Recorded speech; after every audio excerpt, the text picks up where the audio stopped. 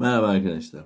Açılar ve doğrular ünitemizin 5. ünitemizin ilk konusuyla devam ediyoruz. Şimdi başlangıç noktaları ortak. iki ışının birleşmesiyle oluşan şekli açı denir. Arkadaşlar 5. sınıftan 6. sınıftan bunları zaten öğrendiniz. Yandaki açı ABC. Arkadaşlar şu iki ışının ortak noktasının olduğu bu şöyle yapmış olduğu açıya biz bunların gösterilişini göstereceğiz. A, B, C. Yani açı ortada olacak. Bu bir. CBA diye de yazabilirim. Bu iki. Ve sadece açıyı da gösterebilirim. Bu da 3 arkadaşlar. Yani ölçüleri eşit olan açılara da e, eşit açılı, eşit açı diyeceğiz. E, eşit açılar diyeceğiz. Yani MABC, ABC'nin ölçüsü ölçüleri eşit olan açılara denir. Açıların ölçüsü açı ölçer illetki yardımıyla ölçülür arkadaşlar. Şimdi biz burada bunu kullanamayacağız tabii ki. Kullanamadığımız için böyle bir e, malzememiz yanımızda olmadığından dolayı sıkıntı yaşayabiliriz. Sadece anlatacağım. Bu benim açı ölçerim. En azından materyali tanımış olalım. İletki. İlkokulda belki kullanmışsınızdır. Şu şekildeki gibi böyle açılar çiziyoruz. Birbirini gösteriyoruz şuradan şuraya. Üstünde zaten bakın şuralarda dereceler yazıyor tersten öbür taraftan doğru. Bunlar benim açı ölçülerim ve iletkim. Yanda birim kareli kağıda çizilmiş açıya eş iki farklı açı çiziniz. Tabii ki e, açı ölçerim ve iletkim olmayacağı için bunları çizemeyeceğim ama şöyle göstermek istenilirse rastgele çizeyim. Harflendirmelere dikkat edin. A, B, C demişiz. Buraya K, L, M diyelim. Buraya da N, R, S diyelim. Bu şekilde açılar oluşturmuş olalım ama tabii ki gel gelelim. Ee, şey çizim göstermediğimiz iletkiyle açı ölçü, ölçerle çizmediğimiz için biz bunların ne kadar doğru olduğunu bilemiyoruz şu anda. Hemen bir alttaki soru da aynı şekilde arkadaşlar. Aşağıdaki PRS'nin ölçüsünü açı ölçer yardımı ile bularak bu açıya eş bir açı çiziniz diyor. Ama tabii ki açı ölçerimiz olmadığı için ha şunu öğrenmiştik biz buna geniş açı diyebiliriz. Hemen şöyle söyleyeyim. Bir üstteki de dar açıydı. Bunları en azından hatırlatalım burada. Gönyemiz, iletkimiz, açı ölçerimiz olmadığı için bunları yapamayacağız arkadaşlar. Bir sonraki sayfaya geçiyorum. Yine aynı şekilde pergel ve cetvel yardımı ile açıyı iki eş parçaya ayırma. Yani arkadaşlar şu anda mesela şöyle bir açım var. Biz buradan burası ne bileyim 80 derecelik bir açım olsun. Buradan hemen ortadan ikiye bölme. 40 dereceye 40 derece düşürme gibi yapmaya eş açıya eş parçaya bölme diyeceğiz. Açıyı eşit parçaya. ABC A B, C. İki eş parçaya bölmek için. Birincisi pergel ile B merkezi B ile merkezi B olan B olan merkezi B olan bir çember çizelim. Gördüğü üzere gördünüz mü? Merkezim B. Sonra aynı yarı çaplı çemberi merkezi BA BA'nın ve BC üzerinde olacak B noktasına değecek şekilde çizelim. Gördüğünüz üzere şöyle çizdim. Üçüncü şekli de çizdim. Elde edilen ABD yani şurası şu açıyla şu açının birbirine eş olması. Yani biz bu eş açı iki eşit parçaya bölmeye matematik dilinde hemen biz buna açı ortay diyeceğiz arkadaşlar. Bunun adı açı ortay. Açı orta yani açıyı ortadan ikiye bölen maksadında söylenmiş bir deyim olsun. Öyle kodlayabiliriz aklımızda. Aşağıda verilen ABC eş iki açıya bölelim. Birbirine eş iki eşit parçaya bölelim. Arkadaşlar e, açı ölçelim olmadığı için hemen gösteriyorum. Buradan 40 derece buraya 40 derece buraya yani buna ne diyelim? K diyelim. CBK 30 derece. tabii bunu S ya da M harfiyle gösterebildiğimizi de söyleyeyim. Sonra KBA S o da 30 derece demişiz 40 derece. O da 40 derece. Yani S CBK açısı ile S KBA açısı birbirine eşittir. Birbirine eşittir der. Burada da bitiririz arkadaşlar. Hemen bir alttaki soru. Aşağıdaki KLMN iki eş parçaya ayırınız. Arkadaşlar geniş açı geniş açı olduğu için şöyle çizeyim. Bu tarafı eşit açı şunla şu eşit olduğunu göstermek için çizdim şunları. Bunlardan çok kullanacağız bu arada. Şöyle de yapabiliriz. Çizdik. Şurayla şuraya iki tane nokta koyduğumda eşit olduğunu da söyleyebilirim. Ha şununla karıştırmayalım. 90 derecenin şekliyle 90 derece ile şu şekilde yaptığım birbirine eş demek için koyduğum noktaları 90 ile karıştırmıyoruz arkadaşlar. Bir sonraki sayfada düzlemde 3 doğrunun birbirine göre durumları var. A. 3 doğru paralel olabilir. Paralellik işaretidir arkadaşlar. Doğru. Olabilir. Neden olmasın? Aynı düzlemde 3 doğrunun ortak hiçbir noktası yoktur. Yani çakışmamıştır. Üçü de paralel bir şekilde hiç ebediyen çarpışmayacaklar, çakışmayacaklar birbirleri. Sonsuza doğru gidiyorlar. Yani biz bunlara ha şunu da söyleyeyim paralel cümlesi geçtikten sonra ben şu işareti kullanılırım ya da başka bir kaynaklarda görürsün.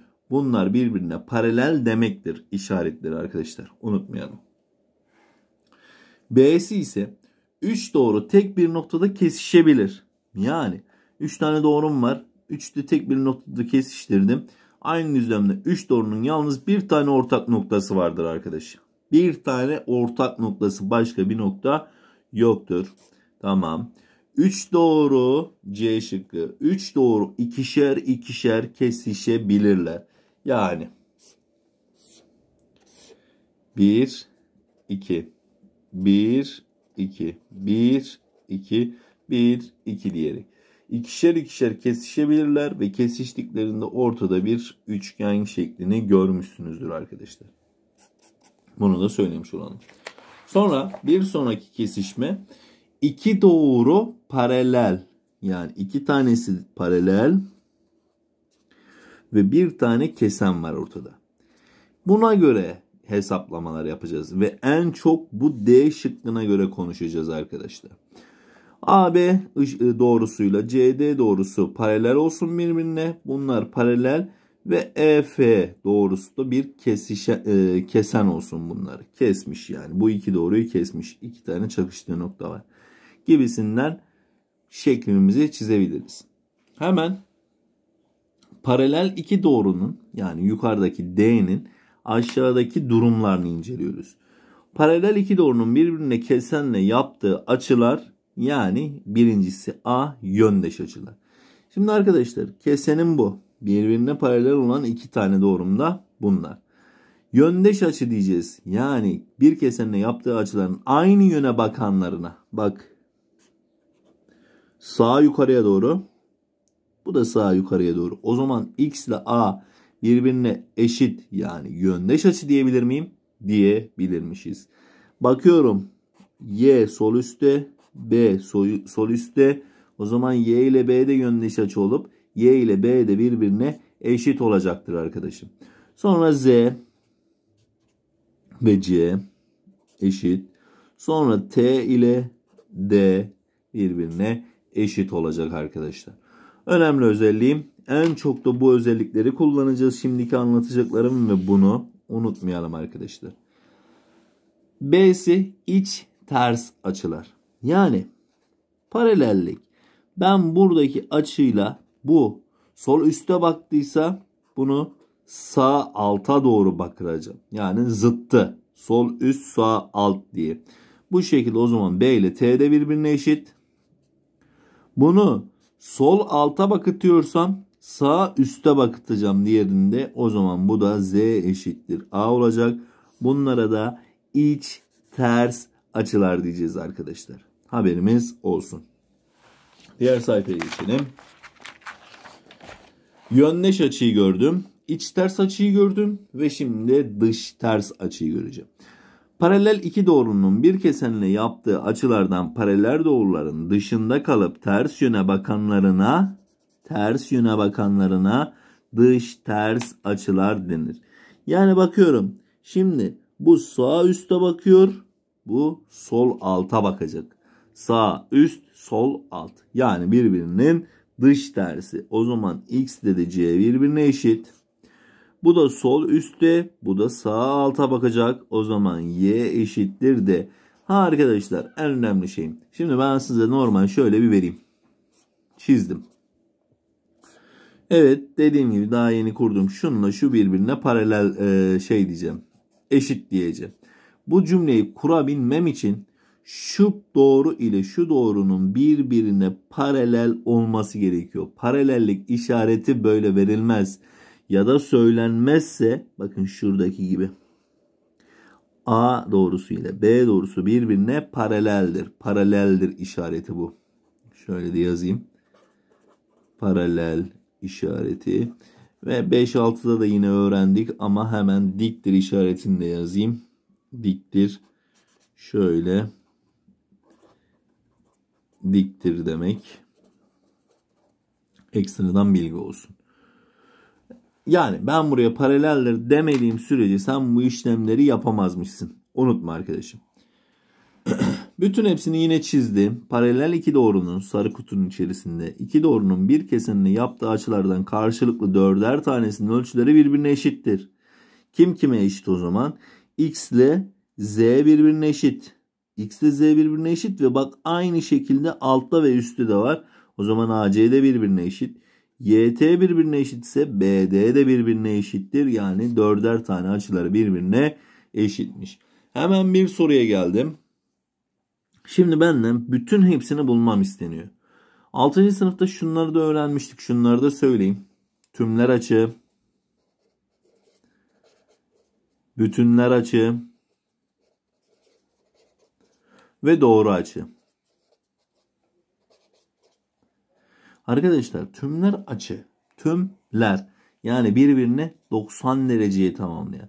Bütünler birbirini 180 dereceyi tamamlayan doğru açıdan 180 dereceydi. Yani şu şekilde. E bunu tamamen dolanıp geri geldiğim zaman da tam açıydı. Yani 360 dereceydi arkadaşlar. Unutmuyoruz. Şimdi şöyle bir göstereyim. Şu bir doğru. E o zaman şuradan şuraya ne oldu? 38 derece. Doğru açı olmadı mı? Doğru açıysa 180'den 38'i çıkarırsam buradaki x'i bulabilir miyim? Bulabilirim. Bir tanesini bulmak için söylüyorum. 180'den 38 dereceyi çıkardım. Ondan 8 çıktı 2. Yeriden 3 çıktı 4. 142'ymiş burası arkadaşım. Tamam. Ama ben bunu yaptım. Şimdi diğer işlemleri yapabilmek için şunu vermeseydi bana K paraleldir L'ye K paraleldir R'ye demeseydi diğerlerini yapamayacaktım ve şimdi yapıyorum. E daha yeni yukarıda söyledi. Dört tane açı birbirine eşit. Buraya, buraya ve buraya, buraya bakanlar. E o zaman 142 kimle eşit? Z'ye eşit. Yazdım. E şunla şu diyorsa şunla da şu birbirine eşit değil miydi? 142. E bu 38 ise burası da 38. Şurası da 38. Şurası da 38 derece. Olmaz mı arkadaşlar? Elbette olacak. Bu şekilde hızlı bir şekilde bütün verilmeyen açılarını bulmuş oluruz. Hemen devam ediyorum. Bakıyorum hangileri paraleldir. Bir kere paralel olsaydı dış tersten buralar birbirine eşit olacak mıydı? Olacaktı. Yani şurayı tamamladım 180'e. Şurayı tamamladım. Ya da şöyle bir cümle. 48 ise burası da 48 olacak. Şöyle şöyle şöyle şöyle yaptığımda burasının da 48 olması gerekiyor. Demek ki paralel değiller arkadaşım. Alttakine geçtim. Neydi bu? Dış ters sol yukarı sağ aşağı. Baktığında birbirine eşit miydi? Eşit olması gerekiyor. E bu 120 bu 128 o zaman paralel değil. Şimdi buna baktım. Bu Sol aşağı bakıyor. Burası da sol aşağı bakan eşit olacak. E 40 ise burasının da 40 olması lazım. Yazdım. Şimdi bu doğru açıysa 140 40 daha kaç yaptı? 180. O zaman şurası 180 yapıyorsa sağladı. O zaman doğru yapmışız. Burası 140 ise burası da 140. Yani o zaman bu arkadaşlar E ile F E paraleldir F'ye. Bu arkadaşlar. Hemen devam ediyorum. Aşağıda paralel iki doğrunun bir kesenle yaptığı açılardan iç ters, dış ters ve yöndeş çiftlerini belirleyiniz. Arkadaşlar bu ne? İç, iç. İkisi de iç ama biri sola biri sağa bakıyor. O zaman iç ters. Ama x ile y birbirine eşittir arkadaşlar. Söyleyelim. Bunlar benim kurallarım olsun. Yani söylemem gerekir ki, gerekirse dikkat edersen şeklinden de z kuralı. Z kuralında arkadaşlar şöyle bir kağıt alayım hemen. Z kuralı şöyle çizdim. Ve ben şuraya şunu yaptığım zaman bu adam paraleldir demek. Paralelse şunu uzatıyorum. Uzatabilirim. Şunu da ekstradan uzatıyorum. Sıkıntı yok. Tam farklı bir Z de yapabilirim. Buradan şöyle bir ters Z de yapabilirim. Sıkıntı yok çünkü bu doğru, bu da doğru. Yani burada paralel olacak. Peki içindeki şu açı ile tersten içindeki şu açı birbirine eşittir. Buna A, buna B dersek A eşittir B'dir arkadaşım. Bu Z'nin kuralıdır. O zaman şuraya C desem şurası da D olsa C eşittir D. Arkadaşlar bunları da öğrendik zaten. O yöndeş açılardan, iç ters açılardan, dış ters açılardan bunları da öğrenmiştik. Yani Z'nin aslında bunu kafanıza kodlamak için Z kuralı diyoruz. Sonra bunun içerisinde yani U kuralı söylenmez. Bunlar artık belli bir noktadan sonra söylenmiyor ama göstermek için. Paralel iki doğru çizdim. Tamam. Bu iki doğruyu da bir kesenle yaptım. Şöyle çizdim. Arkadaş burada zaten şunlara paralel dediğim zaman paralel olduğu için işlemlerim başlıyor. Şurada bir Z kuralı yok mu? Var. E şurada da bir yan yatmış U var mı? Var. Arkadaşlar şimdi ben şuraya A desem B desem C desem fark eden bir şey olmayacağı için şöyle bir duruma getiriyorum. Şimdi ben şuraları A, B, C, D, E, F, G, H. Tamam mı? Yazdım hepsini. Şimdi ben buradan A ile C'nin toplamının 180 derece olduğunu biliyorum. Ya birbirini tamamladıklarını biliyorum açıkçası. Yani A ile B eşit. E, A ile C'nin toplamı 180, B ile C'nin toplamı da 180. O zaman A ile B'nin eşit olduğu zaten ortaya çıkıyor. O zaman ben şuradan bir U kuralından C ile F'nin C artı F'nin 180 derece eşit olduğunu söyleyebilirim. E, bu tarafta da yan yatmış U var. O zaman A artı E'nin de 180 derece olduğunu söyleyebilirim arkadaşlar. Bunları unutmayalım. Bunlar da benim U kuralım olsun. Bir sonraki diğer kuralları da zaten kağıt üzerinde veya ilerledikçe söyleyeceğim. Devam ediyorum. Bunlar ne? Dış tersler arkadaşlar. Yani Z ile T birbirine eşit. Bunlar da aynı yöne baktığı için yöndeş açılardan C eşittir D. Yani hangileri iç ters dış ters onları yazın demişti. Bunlar ne? İç ters. Bunlar ne? Dış ters. Bunlar ne? Yöndeş. Evet arkadaşlar. Hemen bir alttaki soruya geçiyorum. Aşağıdaki şekilde FG paraleldir. Şurası paraleldir HK'ye. Paralellik varsa hemen şöyle işaretlerini koyayım. Şimdi bu 57 derece, bu 32 derece. Arkadaşlar şuradan ben bu keseni uzatırsam şöyle uzattım. E bura 57 ise burası da 57 değil mi? Evet. Şu uzunu uzatıyorum. Dikkat edin uzatıyorum. Şuraya hatta yeniden çizeyim.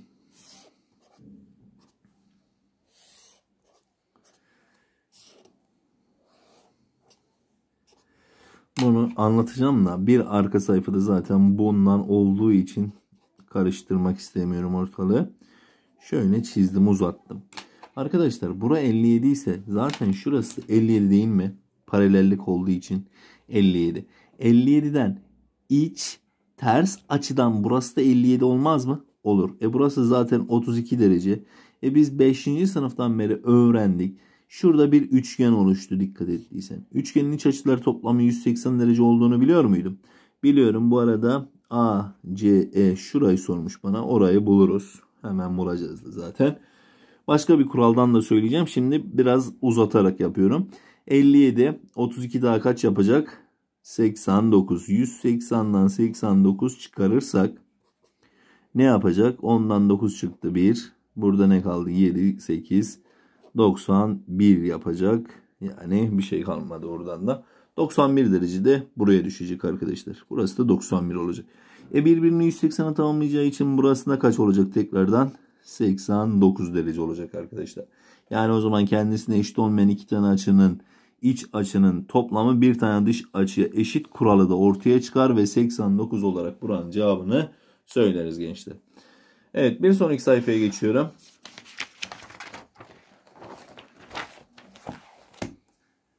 Bu videom biraz uzun olacak arkadaşlar. Tek videoda bitirmek istiyorum açıları.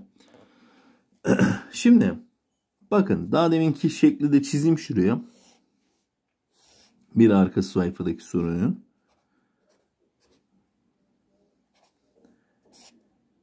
Şöyleydi. Fark etmiyor arkadaşlar. Şu taraf önemli değil benim için. At bir kenara. Bakın aynı şekil. Paralellik var mı? Var. Vermiş soruda. O zaman hemen o soruyu çözmeden önce şuradaki kuralları bahsedeyim. Evet burada kalem ucu muhabbeti. Bunların adına biz öğrencinin aklında kalsın diye kalem ucu diyoruz. Tamam arkadaşlar. E kalem ucu kuralından dikkat edin. iki tane iç açının toplamı aynı yöne bakanların bir tane dış tersi eşit. O zaman burada bir M kuralı çıkıyor. Yani kısa küçük bir zigzag kuralıydı. Şimdi bir M kuralı çıktı. Paralellikte paralellikte buradaki açılarla aynı yöne bakan açıların toplamıyla farklı yöne bakıların açılarının toplamı birbirine eşittir. A, B, C. A artı B eşittir C'dir. Bu kuralı da unutmayalım paralellik olduğu sürece. Tamam arkadaşlar. Hemen kalem ucu kuralına geldim. Arkadaşlar x, y, z'nin buradaki şu şekilde verilmiş ifadenin toplamı 360 derecedir. Ve şuradaki de x ile y'nin toplamı a'ya eşittir arkadaşlar. Unutmuyoruz. İki tane önemli kuralım var sizin için bu. Bunları da unutmayın. Daha deminki bir arkadaki şekil buydu. Bunu pratik bir yoldan da yapabiliyorduk. Burası 57 idi. Burası da 57 oldu. Burası 32 idi. Yani 57 ile 32'nin toplamından burası 89 derece olacağını hızlı bir şekilde söyleyebilirdik. Hemen bu soruya geldik. Bu sorunun da şuradaki olan kısım yani kalem ucu kuralı. Üçünün toplamı 360 derece olacak. Tabii ki buralar paralelse bakıyorum. Yukarıda soruda paralelliği vermiş. O zaman 135, 120 toplarsak 255. 360'dan 255 çıkarırsam ondan 5 çıktı 5. Burada 5'ten 5. 105 derece olarak buluruz arkadaşlar. Hemen en alttaki soruya geçtim. Aşağıdaki şekilde bununla bu paralel. Arkadaşım uzatabilirsin. Bakın çünkü bu doğru böyle gitmeyecek mi? E buradaki paralellik, şuradaki verilen paralellik bununla bu paralel olamaz mı? Olacak tabii ki de. Bu benim net kuralımdı. Şimdi devam edeyim. Peki burası 65 derece, burası 137 derece ve benden burayı istiyor. Ne yapabilirim? E arkadaşlar devam edeyim bir de şunu da şöyle uzatayım. Bakın istediğimi uzatabilirim bu arada. Ortadakini de uzatabilirdim. Şunu da uzatabilirdim. Bunu da uzatabilirdim ve ben bunu da uzattım. Şimdi ben sana U kuralını söyledim. U kuralından şurasını 137'den yani 180'den 137 çıkarırsam burayı bulamaz mıyım? Bulurum arkadaşım. Ya da şimdi şöyle başka bir yöntem Başka bir yöntem değil de buna devam edelim. 180'den 137'yi çıkardım. 10'dan 7 çıktı 3. 7'den 3 çıktı 4. 43 dereceymiş burası.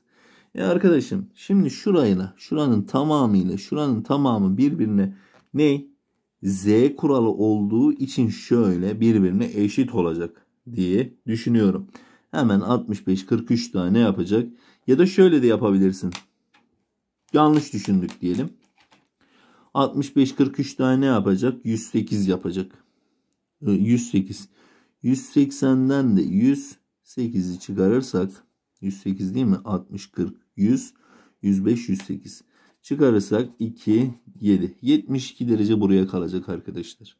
E 72 U kuralından yine burası 180'a tamamlayacağım için 180'den 72'yi çıkarıp burayı bulmam lazım değil mi? Aynıymış o zaman buradaki yöndeşle buradaki yöndeş birbirine iç tersten birbirine eşit olacak. O zaman x eşittir 108 derece olacak arkadaşlar. Peki diğer sayfaya geçtim. Hemen devam ediyorum. Evet arkadaşlar şu arkadaşımla şu arkadaşım paralel. Ben şunu da uzatayım görmüşken uzattım burayı. Bakıyorum benden ABC yani ABC'nin şuradaki açı isteniyor. X diyelim. Ama ben oraya gelmeden önce şuraya bir ya da aa, farklı bir yöntem var. Burayı normal şöyle yapalım. 165 ise 180'e tamamlarsak buraya kaç kalacak arkadaşlar? 15 derece kalacak. 10 eklersem 175, 5 eklersem 180 yaptı. Evet. Şimdi ben aynı yöne bakanların toplayıp x artı 15'i farklı yöne bakana eşitlersem ne yapıyorduk? x eşittir 15 bu tarafa x 15 diye geçti. 100'den 15 çıkarırsak da burası 85 derece olarak bulunacak arkadaşlar. Bu arada ben burada kalem ucunu uygulayacaktım. Ekstradan siz de kalem kağıt alarak burayı kalem ucuyla yapıp 180 dereceyi tamamlamadan bulabilirsiniz arkadaşlar. X'im 85 derece oldu. Bir sonraki soruya geldim. Daha deminki kuralın baya baya büyütülmüş bir hali. Yani M kuralının zikzaklaştırılmış hali arkadaşlar. Şunu şu bana paralelse bunun diğer adı tabii ki büyük M'nin diğer adı da zikzak kuralı arkadaşlar. Aynı yöne bakanlar 20 artı 25 artı 15 eşittir.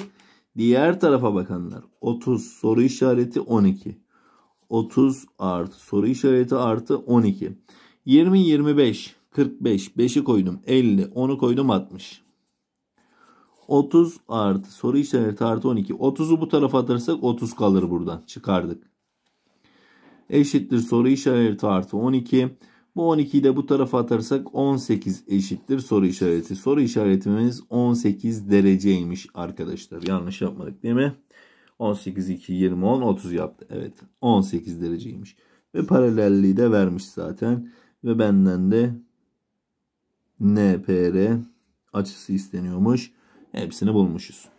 Evet bir sonraki soruya geçtim. Hemen ne yapabilirim? Bakıyorum şuraya uzatsam. Şuraya uzatsam. Arkadaşlar orayı uzattım. Tamam mı? Şimdi şuranın tamamıyla şuranın tamamı birbirine eşit olduğunu biliyor muyum? İç tersten. Evet. O zaman şuradaki U kuralından 110 sa burası. Burasının kaç derece olduğunu bilebilir miyim? Bilebilirim. 180'i tamamlayacağım için burası 70. E 70 ile x'in toplamı 105 değil mi? 70 artı x eşittir 105. O zaman 70'i öbür tarafa atarsak eksi 70, 105'ten 70 çıkarırsak da x'im 35 dereceymiş arkadaşlar. Hemen bakayım. Evet arkadaşlar bundan sonraki konumuz çokgenler olacak. Biz bu videoyu burada bitirelim. Bayağı bir uzun video çektik. Bir sonraki videoda görüşmek üzere. Hoşçakalın.